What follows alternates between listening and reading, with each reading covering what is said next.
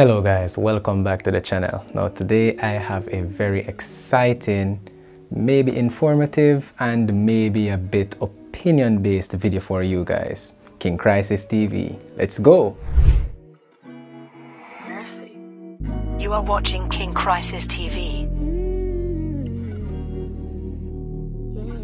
Today was Apple's September quarter Apple event in which they discuss new products they will be launching for the quarter, yada yada yada, so on and so forth. And it was a bit exciting and boring. I had mixed feelings.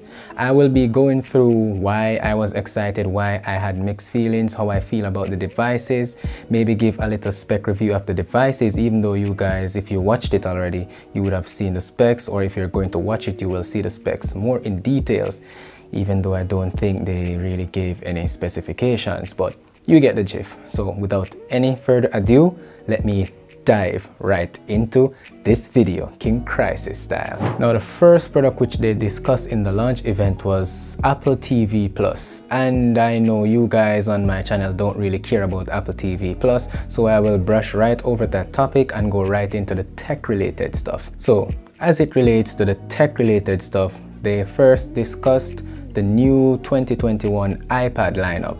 And this year they will be releasing a new iPad, which is the average iPad and also a brand new iPad mini. Now, the iPad mini is what caught my attention. So the iPad mini has a way better design than the regular iPad which they will be releasing this year. It also have a USB Type-C charging port I don't know if the generation before has that or it didn't. I will put a some wording up here if it does because I'm not sure I don't have any iPad or have ever owned an iPad mini. Also, it has a very sleek design. It looks like the iPad Pros Unlike the iPad, the regular iPad, which looks like some of the iPads from the older generations with the regular Touch ID on the front of the device, the thick bezels, it looks like a miniature version of the iPad Pro and I, I like that. The Apple iPad mini also features a 12 megapixel camera and now has the new Apple software or camera feature called Center Stage in which the camera will track a subject with its wide angle camera so the subject will always be in frame. It's like cropping into a portion of the video and ensuring that the subject is always in frame by utilizing cropped section of the entire video section that the camera can capture. Meanwhile, it is focusing on that smaller cropped version if you're understanding what I'm saying. The camera on the iPad mini is also able to shoot 4K videos. 4K. But what Apple didn't state in their launch event and infos is what kind of 4K videos will be captured on the device, what's, what's the frame rate, so on and so forth. Also, the Apple Mini features stereo sound and we all know that Apple products has a wide array of accessories such as cases, um, dongles, you know it, and the Apple Pencil. The iPad mini also supports the latest Apple Pencil which I think is at the second generation currently because Apple Pencil is quite new to the ecosystem. So yes, the Apple mini supports Apple Pencil version 2, I think. So let's do a brief overview of the regular iPad since we just bloated in the wonders of the iPad mini which looks so sexy.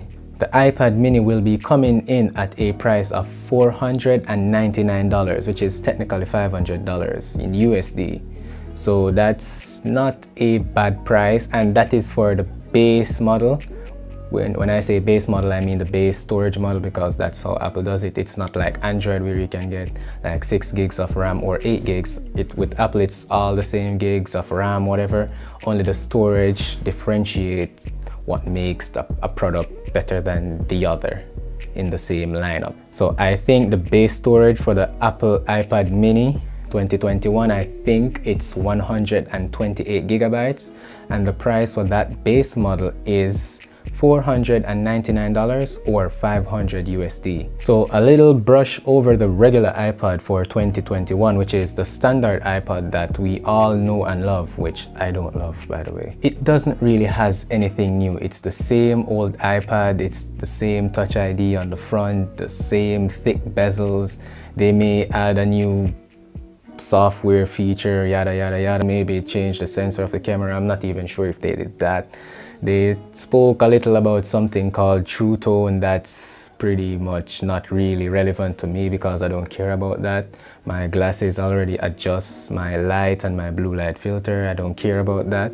And yeah, they spoke about the regular iPad getting center stage, that new camera crop following subject thing I spoke about earlier in the iPad mini. So if I were you, I would get the iPad mini over the regular iPad, even though the price for the regular iPad I think is $329 for the base version as I stated earlier with the storage and all that stuff. So it's 329 or $330 so it's way cheaper than the iPad mini but the iPad mini is offering way more than the regular iPad I don't really know why they called the iPad mini the iPad mini and called that one the iPad because it's confusing. Next, oh, and before I move on to the next item on the list, the regular iPad for 2021 is only able to utilize the Apple Pencil first generation, which sucks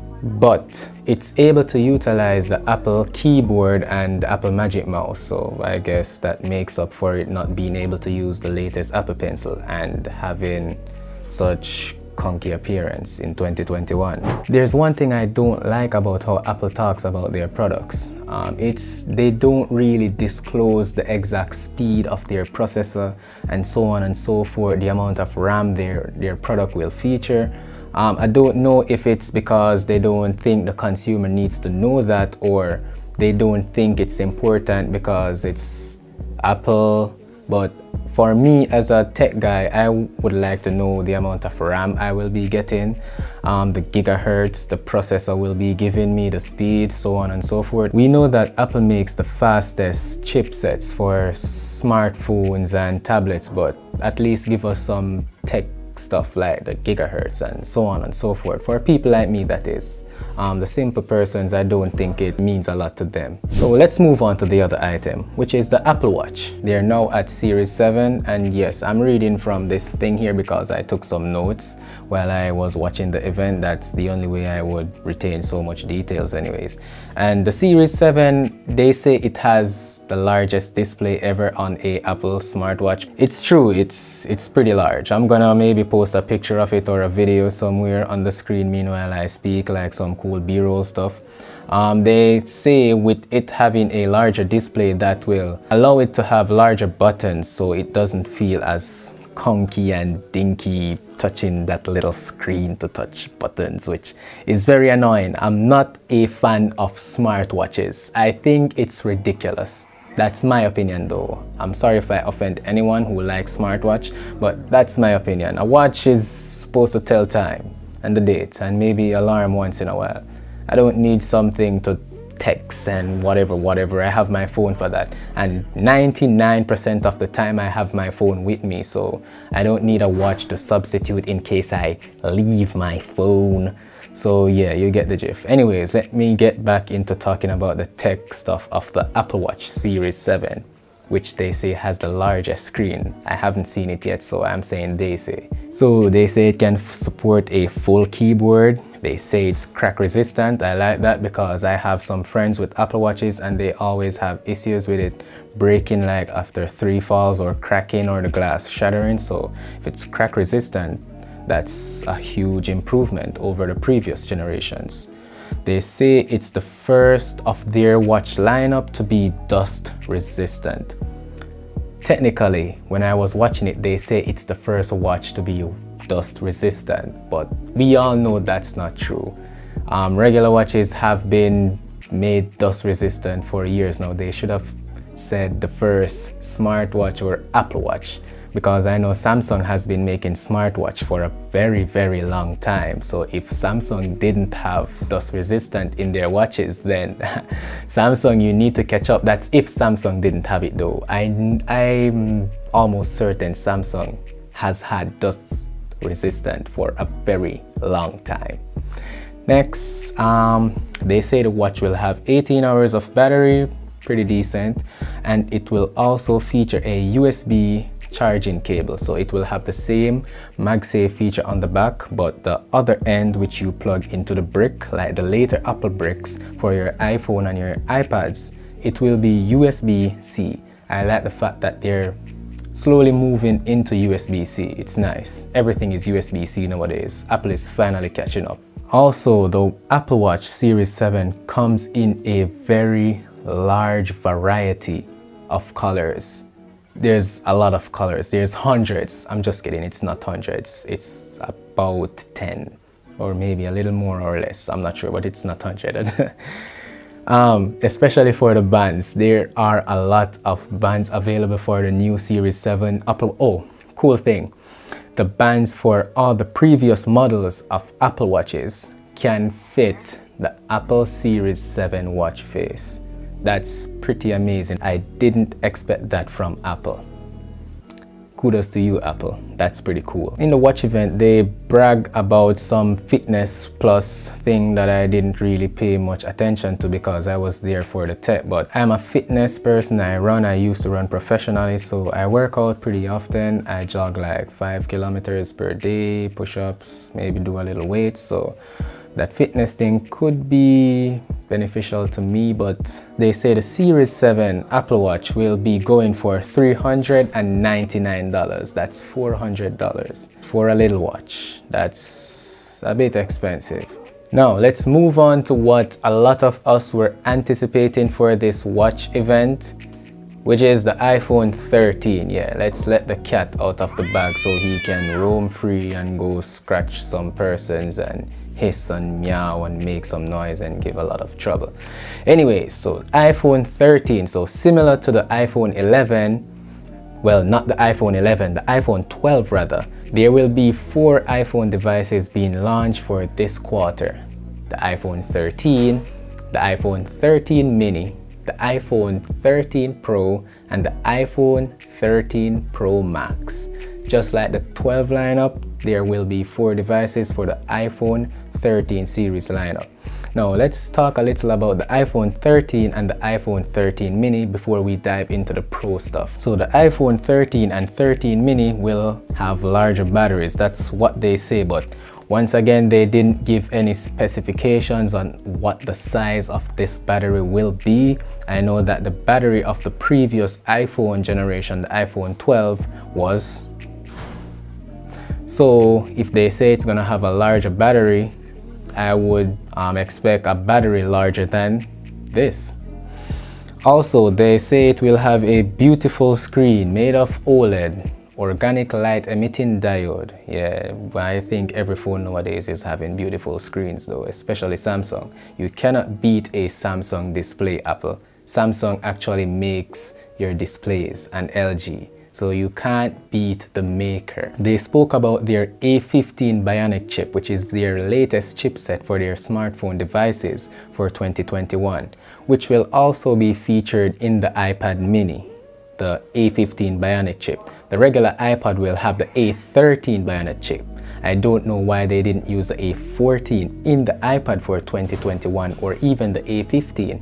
Maybe they're at a chip shortage like most companies here in 2021 because of the situation. So the A15 Bionic chip will have 6 cores for the CPU, 4 cores for the GPU, and a 16 cores neural engine yeah, they spoke a lot about their new neural engine and machine learning and so on and so forth. So it can learn from how the way you type, the apps you use, the photos you take, so it can enhance your photos or utilize your specific photo style. They talk a lot about that in the new Bionic chip, the A15 chip for iPhone devices. Next, they spoke about the cameras on the iPhone 13 devices. It will have two cameras similar to its predecessor, the iPhone 12 and the iPhone 11. Um, you will have a wide angle 12 megapixel f1.6 camera and also a ultra wide camera. So the ultra wide camera will be 12 megapixel as well. Um, they spoke about some sensor shift image stabilization feature that will be featured in these new iPhones, the iPhone 13. But they didn't disclose a lot of information on that. I don't know if it will make the videos more stable because I think that's what stabilization means on a sensor. But instead of talking about the stabilization of photos and videos, they were talking about some color crisp and some stuff. They didn't mention anything about smoothness at all. Next, they talk about a very interesting mode. This mode, for this mode, I would get an iPhone. I am an Android user. I'm flexing here with my Samsung Galaxy S10 Plus in 2021. But this mode will make me, or would make me rather, I don't think it's a big of a deal for me to switch from Android.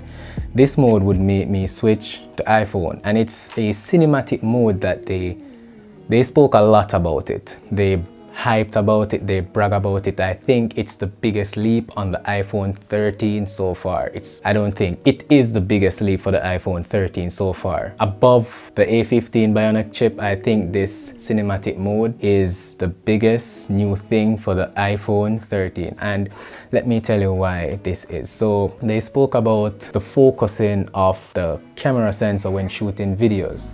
I am not sure if it can be used in photography, but it was a lot of video examples that they used to speak about this feature. So what it does, if you have a subject in the foreground and you're locked into focus on that subject into the foreground, you can shift the focus from that subject into in the foreground onto somebody in the background of that video without having to change any manual settings. It's just with the tap of the screen and the focus can move from that person in the foreground's face or body or whatever to the subject or person in the background. And if you tap it once it will switch focus. If you tap it twice it will lock the focus so it doesn't go out of focus.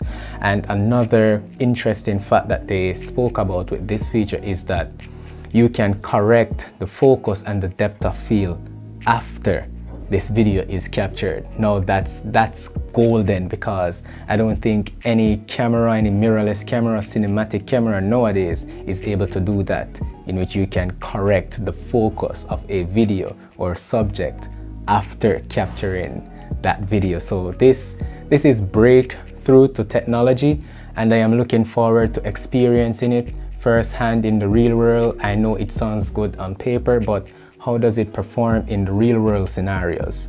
All right let's move on. So we know the iPhone 13 will have 5G like last year's iPhone and they made it like a big deal like eh 5G three quarters of the world don't have 5G as yet. So I don't think it's that much of a deal. So yeah and they say the iPhone 13 mini will be 1.5 hours more than the iPhone 12 mini as it relates to battery duration. And the iPhone 13 the regular model will have a 2.5 hours increase over the iPhone 12 last year generation. Well this is a big claim from Apple but it's not really a big jump. Well for me that is. Um, 2.5 hours, what if I decided to play more games on this new iPhone than I did on the other one? How will it stand up to the intensive use I am putting on the phone because the screen looks better? So, and they didn't tell us the size of the battery. I think I mentioned that before, but yeah. They only talk about 1.5 hours more than that generation and 2.5 hours more than that generation. Oh, oh, oh, and something very important that I noticed that they didn't mention at all in the launch event is that the notch on the iPhone has gotten smaller. Let me show you the iPhone 13 versus the iPhone 12 for comparison of the notch size. So as you can see up here, the iPhone 13 has a smaller notch than the iPhone 12 and all the iPhones before that that has a notch. They're finally going somewhere with getting rid of that big old chin from the top of their phone. And I am proud of them. Apple, you're finally growing up. Next, so we know the new iPhone 13 will feature the MagSafe feature which they introduced back in the iPhone 12 last year. The iPhone 13 mini will be selling for 699, that is $700. And the iPhone 13 the regular model will be selling for 799 or $800 and the base storage for the iPhone 13 mini and the iPhone 13 is now 128 gigabytes. Now Samsung has been using this as their base storage for a very long while now. So it's time for the big boys or the big girls. The iPhone 13 Pro and the iPhone 13 Pro Max so the iPhone 13 Pro will be featuring a 6.1 inch display. So to me, the iPhone 13 Pro and the iPhone 13 Pro Max looks the same as the iPhone 12 Pro and the iPhone 12 Pro Max. It looks almost exactly the same from the back that is. You will see the difference in the notch if you look at it from the front, but the back, it looks almost the same to me. I am really happy that they kept the LiDAR sensor, which gives them this depth um, advancement over all other smartphones currently on the market.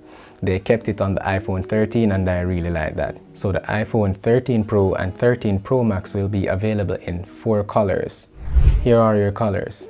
And Apple claims that the iPhone 13 Pro and 13 Pro Max and the whole iPhone 13 lineup for this instance will be having industry-leading water resistance technology. Uh, that's that's a bold statement to make, Apple. Um, the last time I checked, your devices were the most susceptible to water damage. That's a really bold statement to make. Industry-leading water resistance on an iPhone. But let's let's see how it holds up in real world scenarios when it hits the market before I make any assumptions. Remember guys, this these are my opinions, okay? So the iPhone 13 Pro and 13 Pro Max will be having a 120 Hz refresh rate screen. Now, even though they say this will be having 120 Hz refresh rate screen, you won't be able to control this 120 Hz refresh rate. It will be adaptive, so you can't go into the settings and tap a switch and it stays on 120 or whatever increment you want to set it. It's adaptive. The phone will put it in whatever refresh rate it feels is best for the scenario this is good for saving battery but for like a tech person like me I would like to tweak my refresh rate. Let's say I want to kill my battery faster and keep it at 120 so why can't I do that Apple? Why can't I select my own refresh rate? It's 2021 Samsung allows me to do it so why can't you? Bad Apple bad. And as it relates to camera apart from the whole cinematic mode there is not much new to the Apple camera lineup we all know that Apple already takes amazing photos and amazing videos. Like, there's no doubt about that. And they spoke about the photos will be even better in this lineup because of some, the whole sensor stuff I spoke about earlier, the sensor stabilization stuff, and also because of the neural engine. The photos will look better. Um, I don't know how to describe this because they didn't put it into the most repetitive form for me to repeat it back to you but just know the photos will look better. And they spoke something about some macro photography as well. Let me read my notes. Um yes macro photography. So you will be able to take pictures of subject of up to two centimeters close. So you can go up to two centimeters close to a subject to take photos. All cameras will now have the night mode features and it will feature ProRes video in 4K 24 frames per second. Now this is beautiful. The zoom are the same. They will have three times zoom on the telephoto camera and six times zoom on the wide angle camera. Um, Samsung is at 100 zooms now. Try to catch up Apple. So the battery life on the iPhone 13 Pro will be 1.5 hours more than the 12 Pro from last year. So it's same as the regular iPhone 13 versus the regular iPhone 12 last year. And the Pro Max will have a 2.5 hour more than the 12 Pro Max from last year. It, they still didn't give any battery size for the Pro variants of the new iPhone. They just gave hours more that it will last be compared to the versions from last year. So the iPhone 13 Pro will be going for $999 aka $1,000 and the iPhone 13 Pro Max will be going for 1099 which is $1,100. Well I don't think this is much of an increase or decrease compared to last year. I forgot what they launched at that last year so I can't make any assumptions there. And they say the iPhone 13 Pro and Pro Max will be the first set of iPhones to feature or introduce one terabyte of internal storage but the base storage on the iPhone 13 Pro and 13 Pro Max will be 128 gigabytes of storage so there you have it guys those are all the details I managed to scalp from watching the Apple event. I hope you guys found these information useful and remember most of what I said are opinion based. They are what I think apart from the statistics and the details that I gave you about the device. So don't take anything too personal if you're an Apple user. Um, I'm just here to give you guys content and insights on what to expect from the Apple new products that will be available soon for purchase. If you found this video interesting and entertaining, please feel free to hit that like button and also that subscribe button so I can continue making more videos like these for you guys. And if you mind, you can share this video with a friend if they like iPhone or even like Samsung so I can grow here on YouTube to provide you with more content. Skin Krysis TV, signing out.